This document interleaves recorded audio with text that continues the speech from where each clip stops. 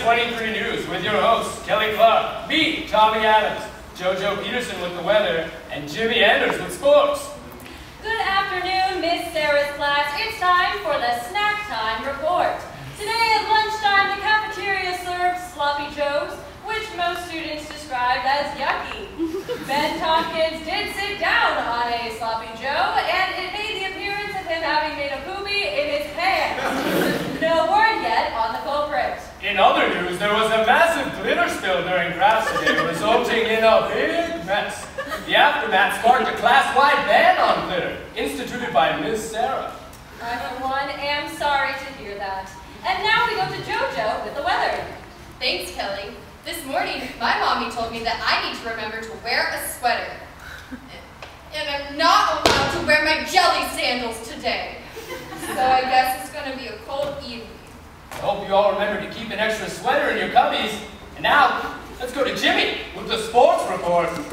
Well, it's been a busy day out here on the recess field, folks, with our total boo-boo tally coming in at five total boo-boos and one ouchie. In related news, it sounds like Mikey P might be out for the season. He allegedly had an asthma attack and had to go sit with a nurse. Keep that inhaler handy, Mikey.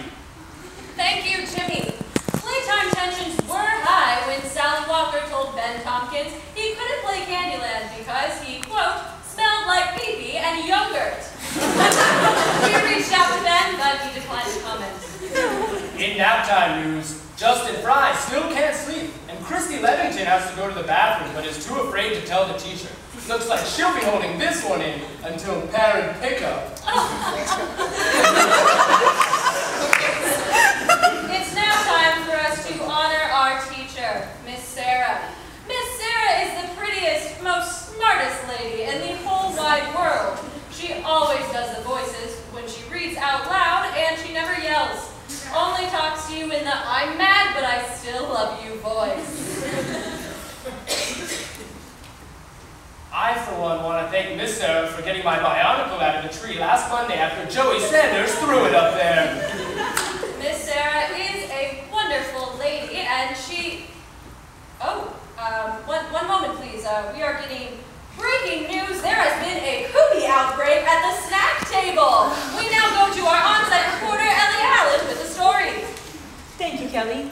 According to sources, an outbreak of cooties started from an incident at the snack table. According to witnesses, Billy Waters kissed Ali Patel right on her arm. She then, she then fled in terror only after accidentally contaminating everyone at the snack table. I have with me pretend doctor and cooties expert Cindy Pirelli. Cindy, what is there to be done about this outbreak?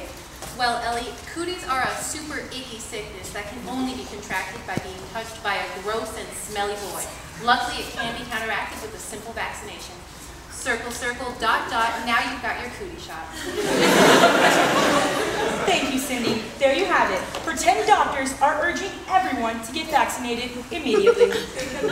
Thank you, Ellie. Well, that's all the news we've got for you today, folks. Tune in tomorrow for the show and tell feature, A Turtle Named Harry. For PS23 News, I'm Tommy Adams.